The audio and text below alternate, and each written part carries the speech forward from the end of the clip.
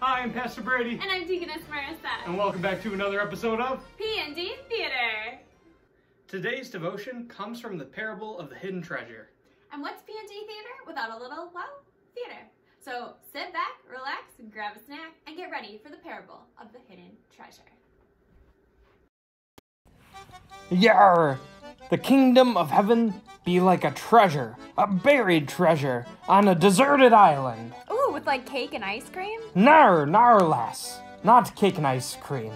A deserted, like no one be there. Yar, where was I? Oh, yes.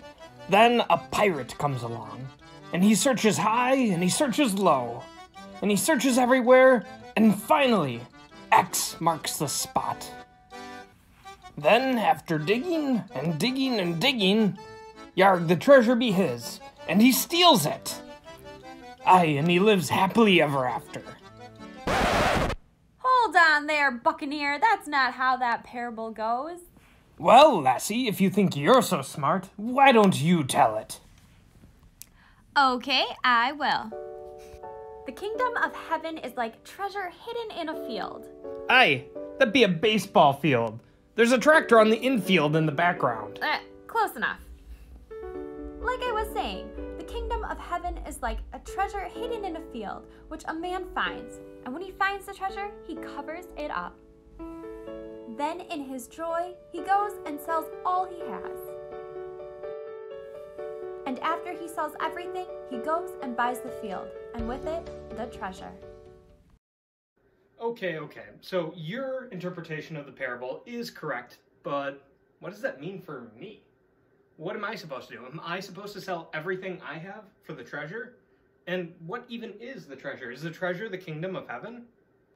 Well, that is one way that many people interpret that parable, but it's not the only way, and there are even some problems with that interpretation. What's wrong with that interpretation? Well, in that telling of the parable, we put ourselves in the shoes of the man walking through the field, or in the boots of the pirate. When we find the treasure, which in that interpretation we have established is the kingdom of heaven, then it's up to us to purchase the treasure. Okay, but I'm still not really seeing a problem here. The problem is we can't earn heaven. The truth is none of us would sell everything we had for heaven, and even if we did, it wouldn't be enough. We need to look at the parable another way, so let's tell it one more time. This time, Jesus will represent the man in the field, and we will represent the treasure. Jesus finds us, his treasure, in the field. And his treasure isn't one that any of us would like to have. Instead of a treasure of gold and fine jewels, we look more like a treasure of trash by the way we act sometimes.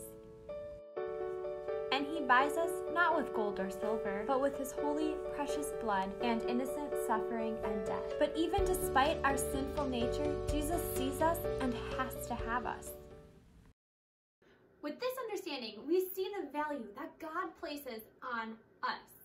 In Christ, we have value, and because Christ died on the cross for our sins, well, we're no longer a treasure of trash. Instead, we've been redeemed, and now we shine like a treasure with all the glory of heaven. Will, Will you you pray pray with with us? God, we thank you for seeing us as your treasure and giving us true value through your Son. Amen.